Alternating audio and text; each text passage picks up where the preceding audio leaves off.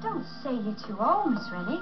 Grandpa says you don't begin it until you're past 70. That's when you're free. How's that? Well, you're free of all desires of the flesh.